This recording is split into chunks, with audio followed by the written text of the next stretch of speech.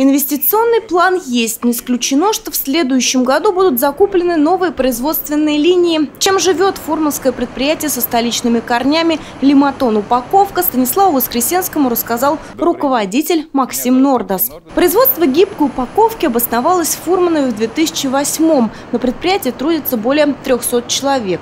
В своем сегменте «Лиматон Упаковка» входит в пятерку крупнейших производителей страны. Нынешние мощности позволяют производить 800 600 тонн упаковочного материала в месяц.